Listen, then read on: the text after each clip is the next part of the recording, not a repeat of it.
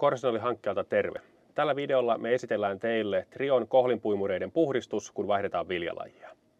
Puhdistaminen viljalajivaihdon yhteydessä on yleensä aika monimutkainen prosessi. Trionissa se on tehty aika helpoksi ja näytämme tässä videolla monta kohtaa, miten tämä tapahtuu.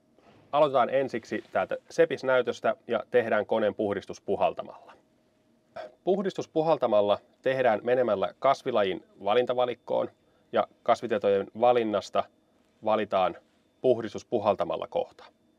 Ja se kytketään play-painikkeella päälle silloin, kun meillä on puintikoneisto päällä ja täydet työkierrokset. Tällöin järjestelmä avaa seulaston kokonaan auki ja pistää puhaltimen kierrokset täysille ja näin me saadaan poistettua enimmät moskat tuolta koneistosta pois. Sen jälkeen voidaan mennä tuonne koneen ulkopuolelle jatkamaan näitä puhdistustoimenpiteitä. Aloitetaan tuosta koneen etupuolelta, oikealta puolelta. Siellä meillä on tällainen vipu ja vivulla pystytään yhdellä aukaisulla tyhjentämään koneen kivikouru. Kun viettopinnat puhdistetaan, niin aloitetaan irrottamalla tämä suojapelti tästä päältä ensin pois. Siihen voidaan käyttää tätä virallista glass-avainta.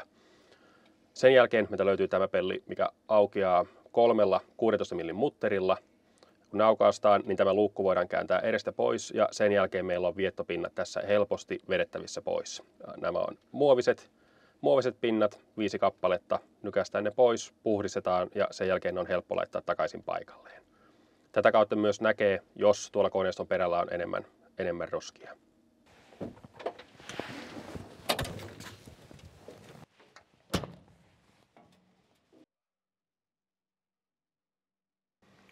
Jatketaan puhdistusta täältä koneen vasemman puolen luukun alta.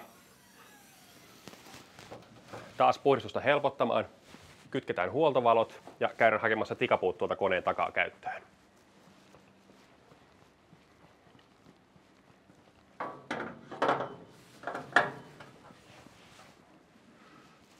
Koneen vasemmalla puolella meillä on tuolla hyvän kokoinen luukku, mistä päästään kohlinten päälle ja MSS-erottelukelalle.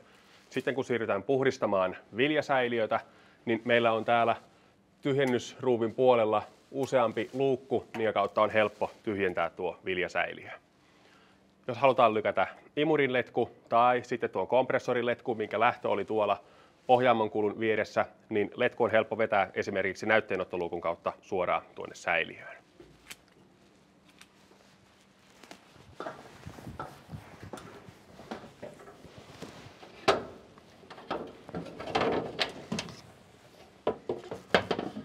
Luukun takaa on helppo tarkastaa, että kohlimet ovat pysyneet puhtaana. Jos siinä päällä on jotain roskia, niin tästä päästään puhaltamaan tai imuroimaan niitä pois.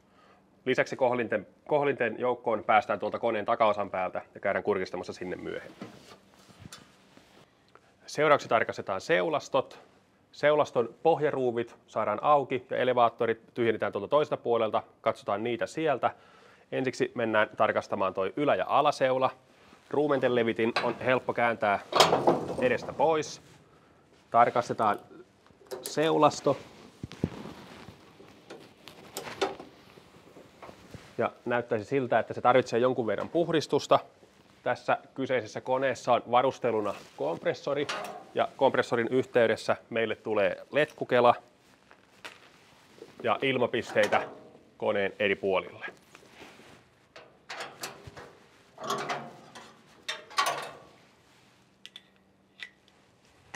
Seulastolle kulku on tehty helpoksi ja isompikin kaveri mahtuu tänne väliin työskentelemään. Tästä seulaston puhdistus on helppoa joko käyttäen paineilmaa tai vaikka painepesuria. Seulasto on jaettu kahteen osaan, eli se on helppo myös irroittaa sieltä erillistä puhdistusta varten. Seulaston yläpuolisen puhdistamisen jälkeen nostetaan ruumenten lemitin paikalleen ja siirrytään koneen oikealle puolelle jatkamaan puhdistusta. Avataan seuraavaksi elevaattorien pohjaluukut, eli ensiksi rajaiselevaattorin pohjaluukku. Saadaan salvalla auki puhdistusta varten ja sitten tällä puolella on viljaelevaattorin pohjaluukku.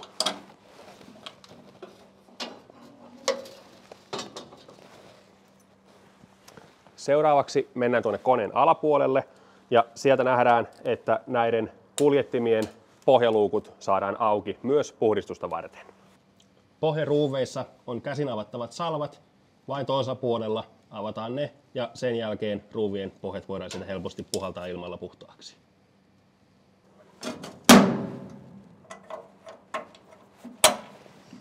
Seuraavaksi siirrytään viljasäiliön puhdistamiseen.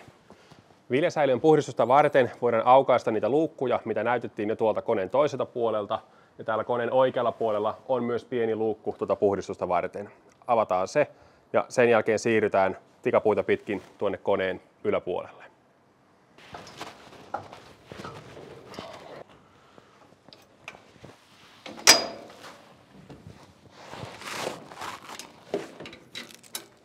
Kohlinten puhdistuksen yhteydessä voidaan aukausta täältä koneen päätä luukku, mistä on suora näkyvyys tuonne kohlimille.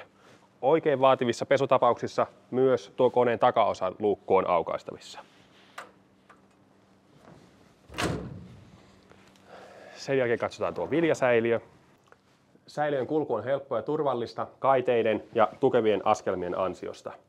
Säiliön puhdistuksessa tämä painava pistooli tai sitten voidaan vetää imurin letku tuolta näytteenottoluukun kautta tänne käyttöön. Ja kun puhdistetaan, niin ollaan aukaistu luukut molempien vaakakuljettimien päistä, mistä kautta saadaan säiliö tyhjennettyä, ja tyhjennysruuvin, pystyruuvin pohjasta on myös luukku auki, missä saadaan jäännösviljat pois, pois ennen kuin aloitetaan toisen viljelajin puiminen. Trion puimurin puhdistus on siis todella helppo toimenpide. Ja jos puimurin puhdistettavuus on sinulle tärkeää, olet esimerkiksi siemenviljelijä tai joudut puimaan erittäin hankalissa olosuhteissa, niin Trion on juuri sopiva valinta teille.